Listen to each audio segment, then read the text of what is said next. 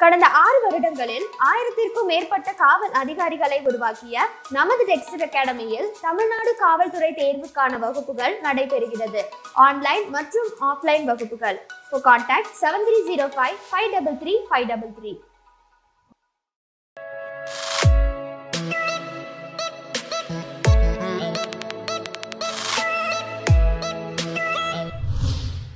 welcome students இந்த online கிளாஸில் நம்ம பார்க்க போகிறது problems on dielectric capacitance and inductance topics ஏற்கனவே இந்த டாப்பிக்கில் தியரட்டிக்கல் டிஸ்கஷன் அண்ட் ஃபார்முலாஸ் எல்லாமே நம்ம பார்த்து முடிச்சிருக்கோம். இப்போ அது சம்மந்தப்பட்ட ப்ராப்ளம்ஸ் தான் நம்ம இந்த டாப்பிக்கில் பார்க்க போகிறோம் இந்த மாடல் ப்ராப்ளம்ஸ் எல்லாமே இம்பார்ட்டன்ட் உங்கள் ப்ரீவியஸ் இயர் இபி கொஸ்டின்ஸ்லேருந்து தான் எடுத்திருக்கிறோம். ஸோ ஆன்சர்ஸ் நல்லா தெளிவாக புரிஞ்சு மைண்டில் ஏற்றிக்கங்க first problem A coil made up of 20 number of turns. நான் ப்ராப்ளம் வாசிக்கும் பொழுதே கிவன் டேட்டாவை சைடில் எழுதுறேன் ஸோ நம்பர் ஆஃப் டேர்ன்ஸ் டுவெண்ட்டின்னு கொடுத்துருக்காங்க with cross section area four meter square if length of the coil is 8 meter so length of the coil is 8 meter find the amount of energy stored in the coil when 20 electrons driven அப்போ number of electron டுவெண்ட்டின்னு கொடுத்துருக்காங்க. Driven through it in air medium okay so காற்று ஊடகம் தான் இங்கே இருக்குது. ப்ராக்கெட்டில் assume time taken t is equal to ten செகண்ட்னு கொடுத்துருக்காங்க. ஸோ இந்த டேட்டாஸ் எல்லாமே கொடுத்து எனர்ஜி ஸ்டோர் எவ்வளோவா? ஆமாம் ஃபைன் த எனர்ஜி ஸ்டோர் இந்த காயில் அப்படின்னு கேட்டிருக்காங்க. ஓகேவா ஸோ அப்போ காயில் அப்படிங்கிற வார்த்தையை பார்த்துடுறீங்க. ஸோ காயில்னாலே அது என்னவா இருக்கும்? இண்டக்டராக இருக்கும் ரைட்டுங்களா? கெப்பாசிட்டர் அப்படிங்கிறப்ப வந்துட்டு it is having two parallel plate தானே? காயில் அப்படிங்கிறதான் வந்துட்டு இண்டக்டருக்கு உண்டான சிம்பிள் நம்ம படிச்சிருப்போம். ஸோ காயில்னாலே இது இண்டக்டன்ஸ் டாபிக் கீழே வரக்கூடிய ப்ராப்ளம் அப்படிங்கிறது நமக்கு தெரியும். சரி அப்போது எனர்ஜி ஸ்டோர்டு இந்த இண்டக்டருடைய formula is equal to half L I square இந்த ஃபார்முலா ஞாபகம் வச்சுக்கோங்க. அந்த ஆன்லைன் வீடியோவில் நான் சொல்லாமல் ஒரு பாயிண்ட் விட்டுருப்பேன். அதான் இது. கெப்பாசிட்டரை பொறுத்தவரை அதில் சேர்க்கக்கூடிய எனர்ஜியுடைய formula is equal to half C V square இதில் சிங்கிறது கெப்பாசிட்டன்ஸ் இதை கண்டுபிடிக்கத்தான் நீங்கள் கியூ பை விங்கிற ஃபார்முலாவோ இல்லை epsilon naught by epsilon naught A by D அப்படிங்கிற ஃபார்முலாவோ யூஸ் பண்ணியிருப்பீங்க பிங்கிறது சப்ளை வோல்டேஜ் ஓகேவா ஸோ ஹாஃப் சிவி ஸ்கொயர் அப்படிங்கிறது தான் எனர்ஜி ஃபார்முலா இன் கெப்பாசிட்டர் இண்டக்டரை பொறுத்தவரை energy formula half LI square எல்னாக்க inductance அப்படிம்போம் ஐனாக்க கரண்ட் அப்படிம்போம். சரிங்களா? அதனால தான் இந்த இந்த ஒரு பாயிண்ட் இம்பார்ட்டன்ட் ஞாபகம் வச்சுக்க. கெப்பாசிட்டர் அப்படிங்கிறது it is a voltage depend element ஏன்னா energy storage formula voltage in terms of தான் நம்ம எழுதியிருக்கிறோம். அதே இது இண்டக்டர் அப்படிங்கிறது கரண்ட் டிபெண்ட் எலமெண்ட் அப்படிம்பாங்க. ஏன்னா energy storage formula in terms of current தான் நம்ம எழுதியிருக்கிறோம். ஓகேங்களா? So capacitor is a voltage depend element whereas inductor is a current depend element சரி அப்போ energy store in inductor காயிலுடைய formula is equal to half L I ஸ்கொயர்னு தெரியுதா? இதில் நமக்கு ஃபஸ்ட்டு இண்டக்டன்ஸ் என்னங்கிறத கண்டுபிடிச்சா தான் எனர்ஜி கண்டுபிடிக்க முடியும். ஸோ இண்டக்டன்ஸ் உடைய ஃபார்முலா நீங்கள் படிச்சிருப்பீங்க. L is equal to mu naught N square capital A by small L இதான் ஃபார்முலா ஸோ இப்போ இதில் நான் சப்ஸ்டியூட் பண்ண போகிறேன் தெரிஞ்ச வேல்யூஸை ஃபுல்லாக மியூ நாட்னா என்ன? Four pi into ten power minus seven into capital என்னங்கிறது என்ன? நம்பர் ஆஃப் டேர்ன்ஸ் இந்த காயில் டுவெண்ட்டின்னு கொடுத்துருக்கானா? ஸோ என் ஸ்கொயருங்கிறப்ப டுவெண்ட்டி இன்டூ டுவெண்ட்டி வரும். அப்போ twenty into twenty four hundred sir என்ன பண்ணுறேன் ஃபோர் இன்டூ டென் பவர் டூன்னு போட்டுக்கிறேன். Okay into area of the coil area of the coil is four மீட்டர்னு கொடுத்துட்டான் divided by length of the coil வந்துட்டு eight metre so அதை cut பண்ணிங்கன்னா இது one time இது டூ டைம் இது ஒன் டைம் இது டூ டைம் ஸோ அப்போ என்ன வரும் உங்களுக்கு? Four two sir eight eight two sir oh இங்கே டென் பவர் டூ தானே? அப்போ four into two eight pi so eight pi into ten power இது மைனஸ் செவன் இது ப்ளஸ் டூ அப்போ மைனஸ் ஃபைவ்னு வரும். ஓகே ஹென்ரி இதான் நம்ம இண்டக்டன்ஸுக்கு யூஸ் பண்ணக்கூடிய யூனிட்னு தெரியும். ஸோ அப்போ இண்டக்டருடைய வேல்யூங்க eight pi into ten power minus five ஹென்ரின்னு வருது. ரைட்டுங்களா இப்போ நமக்கு energy storage formula is equal to half L I square so அப்போ ஹாஃப் இன்டூ எல் வந்துட்டு இந்த வந்திருக்கிற value eight pi into ten power minus five into Aina என்ன? கரண்ட்டு ஸோ இந்த ஃபார்முலாவில் கரண்ட் வந்துட்டு அவங்க டேரெக்டாக கொடுக்கல. அப்படி தானே ஆமாம் நம்பர் ஆஃப் எலக்ட்ரான்ஸ் வந்துட்டு டுவெண்ட்டி டென் செகண்ட் டயத்துக்கு பாஸ் ஆகுது அப்படின்னு கொடுத்துருக்காங்க. ஸோ இதுலேருந்து நம்ம கொண்டு வருவோம். கரண்ட்டுடைய ஃபார்முலா என்ன? I is equal to Q by t ஆனால் மறுபடியும் கியூ இங்கே டைரெக்டாக கொடுக்கல. கியூக்கு ஒரு ஃபார்முலா இருக்குது என்இ டிவைடட் பை கீழே டைம் அதாவது number of electrons into charge of one எலக்ட்ரானை தான் நம்ம கியூ அப்படிங்கிறோம். ஸோ கியூக்கு ஃபார்முலா மேலே என்இ போட்டிருக்கேன். டிவைடட் பை கீழே ஏற்கனவே டைம் இருக்குது. அதை போட்டுட்டேன். ஓகேங்களா ஸோ அப்போ இங்கே வந்து நான் அதை சப்ஸ்டியூட் பண்ணுறேன் ஐக்கு பதிலாக இப்போ நமக்கு புதுசாக வந்திருக்கிற ஃபார்முலா என்இ பை டி அப்போ N E divided by t the whole square வரும். ஐ ஸ்கொயரில் அதனால் மேலே ஒரு ஸ்கொயர் போட்டுட்டேன். இப்போ கேன்சல் பண்ணுங்கள் இது ஒன் டைம் இது டூ டைம்ஸ் சாரி ஃபோர் டைம்ஸா ஃபோர் டைம்ஸ் அப்போ four pi into ten power minus five into ப்ராக்கெட்டுக்குள்ளே என்ன வரும்? Number of electrons twenty into ஈனா charge of one electron charge of one electron எவ்வளவு? One point six into ten power minus nineteen divided by small t time of travel is டென்னு கொடுத்துருக்காங்க. Whole square இருக்குது அதை போட்டுக்கோங்க. ரைட்டா இப்போ ப்ராக்கெட்குள்ள இந்த டென்னையும் இந்த டுவெண்ட்டியும் கட் பண்ணால் two times two into one point six பண்ணீங்கன்னா த்ரீ பாயிண்ட் டூ தானே? அப்போ four pi into ten power minus five into three point two okay three point two into இன்னொரு த்ரீ பாயிண்ட் டூ வேறு வரும். கரெக்டுங்களா ஏன்னா ஹோல் ஸ்கொயர் இருக்குது. அப்போ three point two into three point two into ten power இது minus nineteen அதை square பண்ணிங்கன்னா thirty eight so minus thirty eight கரெக்டா ஸோ இந்த வேல்யூஸை ஃபுல்லாக நீங்கள் மல்டிப்ளை பண்ணி பாருங்கள் three point two into three point two into four into bike three point one four கரெக்டுங்களா ஸோ அதெல்லாம் மல்டிப்ளை பண்ணி பாருங்கள் பார்த்தீங்கன்னா உங்களுடைய ஆன்சர் என்ன தெரியுமா வரும்? ஃபைனலாக one twenty eight point six into ten power minus forty three ஜூலுன்னு வரும். ஓகே இது வந்துட்டு மைனஸ் தேர்ட்டி எயிட்டு இங்கே ஃபைவ் இருக்குது. ஓகே மைனஸ் ஃபைவ் இருக்குது. ஸோ ரெண்டையும் ஆட் பண்ணிங்கன்னா மைனஸ் ஃபார்ட்டி த்ரீன்னு வரும். அண்ட் இதெல்லாம் வந்துட்டு multiply value four into three point one four into three point two into three point டூலாம் பண்ணுனா ஒன் டுவெண்ட்டி எயிட் பாயிண்ட் சிக்ஸ்னு வருதான் வருதான்னு செக் பண்ணிக்கோங்க. ஓகேங்களா ஸோ இதுதான் energy storage in inductor okay so formula வந்துட்டு E is equal to half L I square அதில் நீங்கள் ஃபஸ்ட்டு எல்லுடைய வேல்யூவை கண்டுபிடிக்கிறதுக்கு மியூனா டென் ஸ்கொயர் ஏ பை எல்லுங்கிற ஃபார்முலா போட்டு எல்லை கண்டுபிடிங்க. அப்புறம் இந்த ஃபார்முலாவில் சப்ஸ்டியூட் பண்ணுங்கள் ஐக்கு மறுபடியும் டேரெக்டாக நமக்கு தெரியாது. கியூ பை டி தான் formula கியூக்கு N into E number of electrons into charge of one electron போட்டு சப்ஸ்டியூட் பண்ணி பாருங்க. You will get the final answer formula மட்டும் மைண்டில் ஞாபகம் வச்சா சக்கு சக்குன்னு ஆன்சரை கொண்டு வந்துடலாம் சரி அடுத்து நம்ம செகண்ட் ப்ராப்ளம் போகலாம் solenoid is of length one meter நான் சாலினாய்ட்னா என்னன்னு சொன்னேன் இல்லையா? Coil having multiple number of turns பேர் தான் நம்ம சாலினாய்ட் அப்படின்னு சொல்லுவோம். It is of length one meter and diameter is equal to two meter so diameter வந்துட்டு டூ மீட்டர்னு கொடுத்துருக்கான். அப்போ ரேடியஸ் என்னவா இருக்கும்? அதில் பாதி one meter is having hundred number of turns so இதில் இருக்கக்கூடிய நம்பர் ஆஃப் டர்ன்ஸ் எவ்வளவு hundred if a current of two ampere passes through a coil so current I is equal to two ஆம்பியர்னு கொடுத்துருக்கான் calculate L and five எல்னா என்ன self inductance ஃபைவ்னா என்ன magnetic flux இந்த coil இந்த ரெண்டையும் கேல்குலேட் பண்ண சொல்லி கேட்டிருக்காரு ஓகேங்களா இப்போ நம்ம ஃபர்ஸ்ட் வந்துட்டு இண்டக்டன்ஸ் கண்டுபிடிப்போம் என்ன formula L is equal to mu naught N square capital A by small L so mu நாட்டுக்கு நம்ம வேல்யூ தெரியுமே? Four pi into ten power minus seven into என்னங்கிறது என்ன? நம்பர் ஆஃப் டேர்ன்ஸ் ஹண்ட்ரட்னு கொடுத்துருக்கான். ஸோ ஹண்ட்ரட் ஸ்கொயர் பண்ணுறப்ப எப்படி அது வரும்? டென் பவர் ஃபோர்னு வரும். ஓகே இன்டூ ஏ ஏனா ஏரியா ஆஃப் த காயில் இங்கே ஏரியா ஆஃப் த காயில் வந்துட்டு டைரெக்டாக கொடுக்கல. என்ன கொடுத்துருக்காங்க? ரேடியஸ் ஒன் மீட்டர்னு கொடுத்துருக்காங்க. காயில் வந்துட்டு என்ன ஷேப்பில் இருக்கும்? சர்க்குலர் ஷேப்பில் இருக்கும். அப்போ ரேடியஸுக்கும் ஏரியா ஆஃப் த காயிலுக்கும் முன்னாடி ரிலேஷன் என்ன? A is equal to pi r square okay area of a circle pi r square தானே? அதான் இங்கே போட போகிறேன் அப்போ ஏக்கு பதிலாக I am putting pi r square divided by small எல்னா length of the coil one மீட்டர்னு கொடுத்துருக்காங்க. ஓகேங்களா ஸோ ஆர் எவ்வளவு? அதுவும் ஒன் மீட்டர் அப்போ ஆர் ஸ்கொயர் வந்துட்டு போயிடும். அப்போ இந்த ரெண்டு மல்டிப்ளை பண்ணி பாருங்கள் ஃபோர் பை ஸ்கொயர் வரும். Pi into pi pi square ரைட்டா four pi square into ten power minus three minus seven plus four அப்போ மைனஸ் த்ரீ ஹென்ரி இதான் நம்மளுடைய இண்டக்டன்ஸ் வேல்யூ இப்போ நமக்கு தேவை மேக்னட்டிக் ஃப்ளக்ஸ் கேட்டிருக்கான்.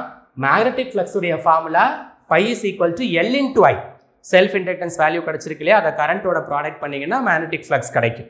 So five is equal to L into I அப்போ என்ன வரும்? Four pi square into ten power minus three into Aina current கரண்ட்டுடைய வேல்யூ டூன்னு கொடுத்துருக்காங்க. அப்போ இங்கே டூவை போடுங்க.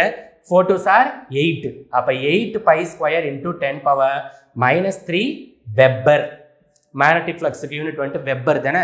அதான் போட்டிருக்கேன். ஓகே ஸோ அப்போ செகண்ட் கொஸ்டனுக்கு உண்டான right answer self inductance value four by square into ten power minus three henry and magnetic ஃப்ளக்ஸுடைய value eight by square into ten power minus three weber okay சரி. அடுத்து நம்ம தேர்ட் ப்ராப்ளத்துக்கு உண்டான answer போக போகிறோம் third problem என்ன? In a tangent galvanometer current of one ampere இந்த question ரொம்ப important இபியில் அடிக்கடி கேட்குறாங்க ஈவி மட்டும் கிடையாது நிறைய டெக்னிக்கல் எக்ஸாமினேஷன்ஸ்லேயும் இந்த கொஸ்டின் கேட்கப்பட்டிருக்கு நியூமரிக்கல் வேல்யூஸை மட்டும் கொஞ்சம் மாற்றி கொடுத்துருப்பாங்க நல்லா பார்த்துக்கோங்க so in a tangent galvanometer a current of one ampere okay I one current is equal to one ampere produces a deflection of thirty degree அப்போ theta one thirty degree find the amount of current required to produce a deflection of 60 degree. அப்போ 60 degree டிஃப்ளெக்ஷனை produce பண்ண எவ்வளோ current use ஆகும்? அதான் question so என்ன கேட்டிருக்காங்க புரியுதா? டிஜி பற்றி நம்ம ஏற்கனவே வீடியோவில் பார்த்தோம். மேக்னட்டிக் ஃபீல்டு இருக்கக்கூடிய இடத்துல பாய கர பாயக்கூடிய கரண்ட்டை மெஷர் பண்ணுற டிவைஸ் தான் டேஞ்சன் கேல்வனோமீட்டா மேக்னட்டிக் ஃபீல்டு இருந்தால் தான் அது ஒர்க் ஆகும். இப்போ நம்மளுடைய கொஸ்டின் ஓகே முப்பது டிகிரி டிஃப்ளெக்ஷனை ப்ரொடியூஸ் பண்ணுறதுக்கு ஒரு ஆம்பியர் கரண்ட் யூஸ் ஆகிருக்குது அப்போ அறுபது டிகிரி டிஃப்ளெக்ஷனை ப்ரொடியூஸ் பண்ணுறதுக்கு எவ்வளவு ஆம்பியர் ஆஃப் கரண்ட்டு ஒரு தேவைப்படும் அப்படிங்கிறதா கொஸ்டின் ஓகே ஸோ டக்குன்னு பார்த்தோமே நிறைய பேர் கால்குலேஷனே போடாமல் பிளைண்ட் ஆன்சருக்கு டிக் பண்ணுவாங்க. முப்பதுக்கு ஒரு ஆம்பியர்னாக்கா அறுபதுக்கு அப்படியே டபுள் ஆகுது. அப்போ டூ ஆம்பியர் தான் ஆன்சர் ஒன்று டூ ஆம்பியர் தான் நிறையா பேர் டிக் பண்ணுவாங்க. பட் அது கிடையாது. ஸோ எப்படின்னு பார்ப்போம் இப்போ. நான் டான்ஜன் கேல்னோமீட்டருடைய கரண்ட் ஃபார்முலா சொன்னேன். I is equal to K tan theta இதுதான் ஃபார்முலா இப்போ நான் ரெண்டு கரண்ட் ரெண்டு டிஃப்ளெக்ஷன் கொடுத்துருக்கானா? ஸோ ஃபார்முலாவை நான் மாற்றிக்கிறேன் ஃபஸ்ட்டு கரண்ட்டுக்கு எப்படி எழுதுவீங்க? Formula I one is equal to K into tan theta one அதே மாதிரி செகண்ட் கரண்ட்டுக்கு எப்படி எழுதுவீங்க? Formula I two is equal to K into tan theta two I theta value தான் மாறும். ஆனால் கே வந்துட்டு கான்ஸ்டன்ட் தானே? அது சேஞ்ச் ஆகாது. அதனால தான் ரெண்டு ஃபார்முலாலையுமே கேனே வச்சுக்கிட்டேன். ஐயும் தீட்டா மட்டும் ஒன் டூன்னு மாற்றிக்கல இப்போ நான் ரேஷியோ கண்டுபிடிக்க போகிறேன் second current divided by first current அப்போ I two divided by I one பண்ணால் என்ன வரும்? K tan theta two divided by K tan theta one so இதில் கே கே அப்படிங்கிற கான்ஸ்டன்ட் வந்துட்டு கட் ஆயிரும் இப்போ நமக்கு கொடுத்துருக்கிற டீட்டெயில்ஸை சப்ஸ்டிட் பண்ணுவோம். ஐ டூ எவ்வளோ கரண்ட் நமக்கு தெரியாது. ஐ ஒன் வந்துட்டு ஒன் ஆம்பியர்னு கொடுத்துருக்காங்க.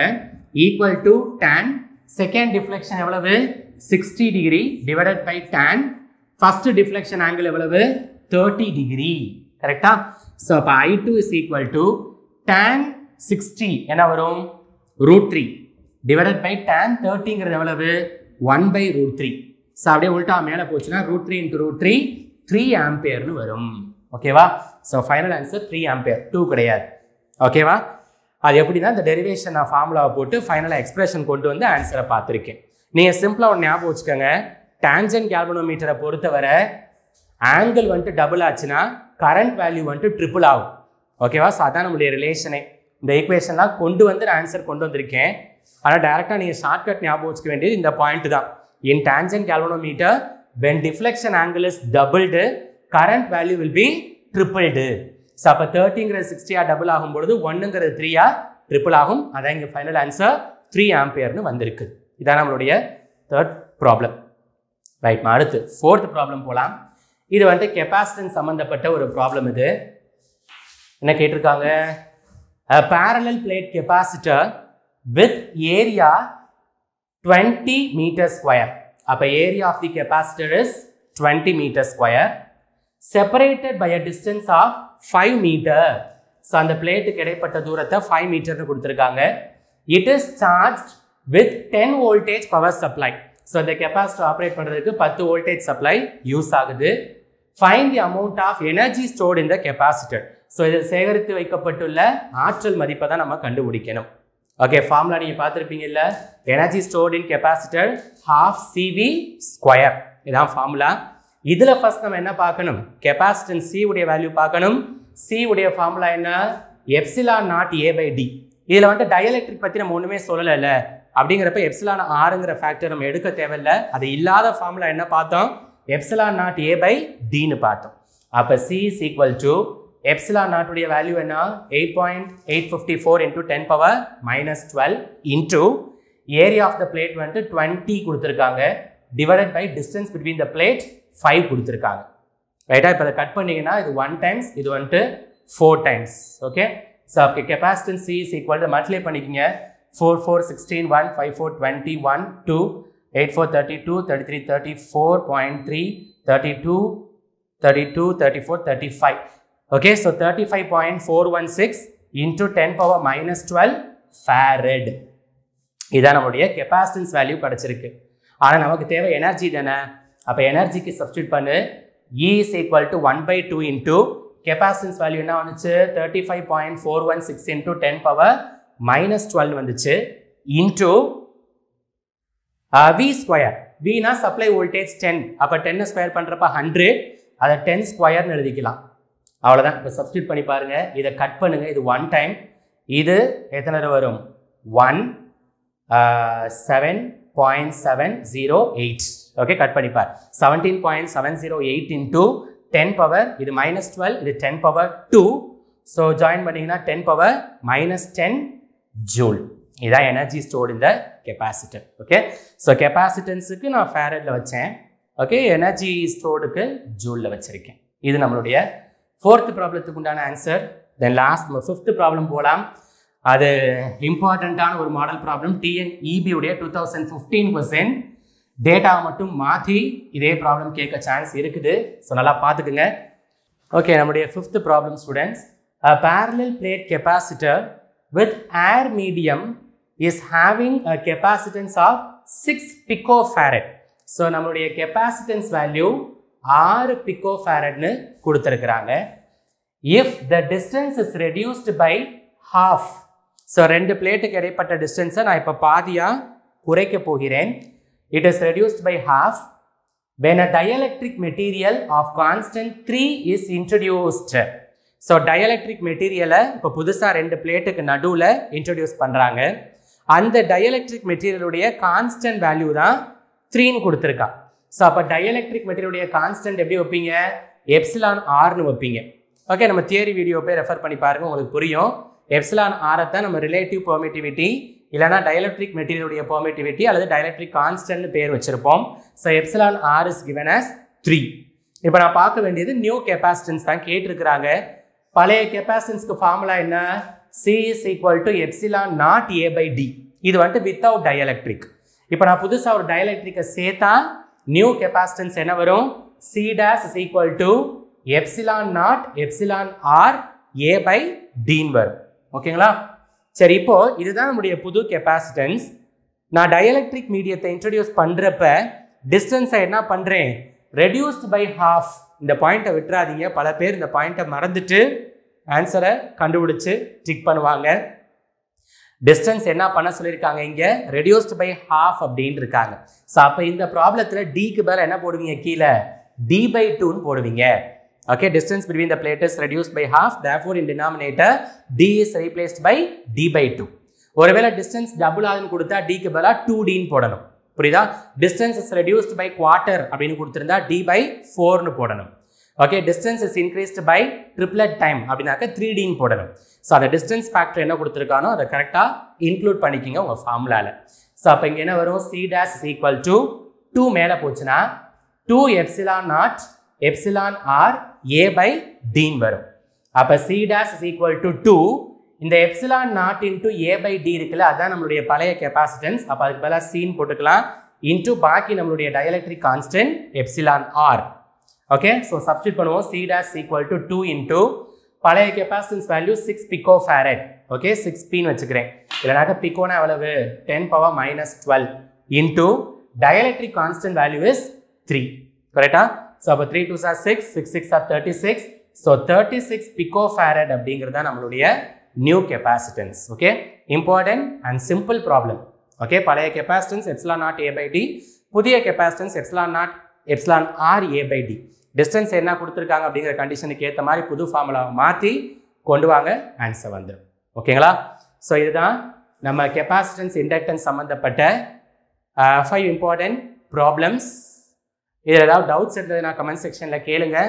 அடுத்தடுத்த டாபிக்ஸை நம்ம இனிமேல் வரப்போகிற ஆன்லைன் வீடியோஸில் பார்க்கலாம். Stay in touch and study well bye students